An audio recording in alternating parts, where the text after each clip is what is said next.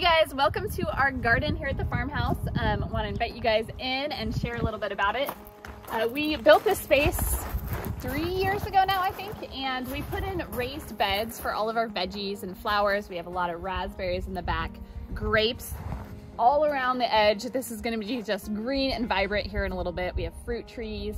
Uh, we put a patio in with furniture. So this is where we hang out all summer. We eat most of our meals out here and we are just getting up our string lights for the year. Garrett devised a very cool way to hang those. He took a metal rod and he built it, bent it into a shepherd's hook.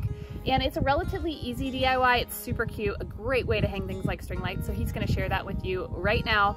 This is in partnership with Bernzomatic. We're using the TS8000, which is a really powerful torch. And with the MAP gas, it's even gets even hotter than propane, so it's gonna be perfect for this project. First thing we're gonna do is check our fuel cylinder with the gas gauge to see, make sure we have enough fuel for the project. Secure the rod to a sturdy work surface and then heat the rod at about 10 inches from the end.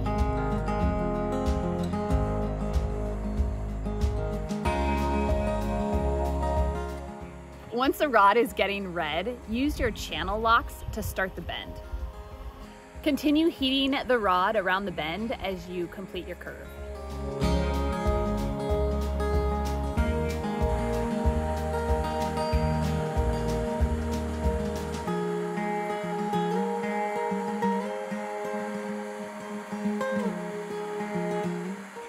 Once you're happy with your first curve, it's time to work on the little crook at the end that will actually hold your string lights.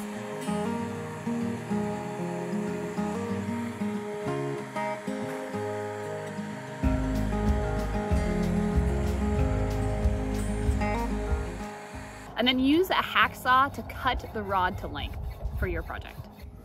And then you're gonna drill down about eight inches into the top of your post. You're gonna set your rod in there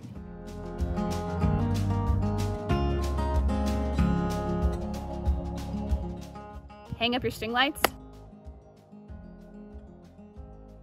and voila, instant ambiance.